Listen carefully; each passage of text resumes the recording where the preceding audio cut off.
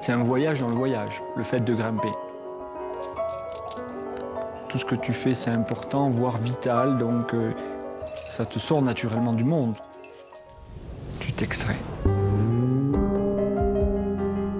On a un jardin fantastique devant les yeux, on a envie d'y dessiner euh, des choses, d'y vivre des choses.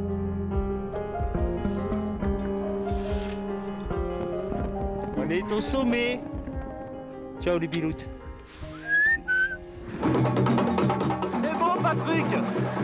Dès qu'il y a le soleil, on tourne Au lieu de grimper à la verticale, il avait commencé à lui à découvrir l'idée de grimper au plafond. Que tu aies une main ou que tu aies un pied, j'ai l'impression que peu importe pour lui, il va, il va rester toujours accroché, araignée au plafond. La base de tout ça, c'est quand même de partager euh, ces moments d'aventure avec mes, mes compagnons. C'est quand même un milieu où il y a des dangers objectifs et au plus tu le fréquentes, au plus tu joues avec. Et je pars pas stressé, euh, bien que je sache pertinemment que sur un projet comme ça, euh, il peut arriver. Ça m'a pas surpris sur le coup. Je l'avais vu en rêve cet accident. Je l'avais vu tomber déjà. Il manque. C'est un manque dans ma vie, quoi. Je suis pas prisonnier dans cette histoire.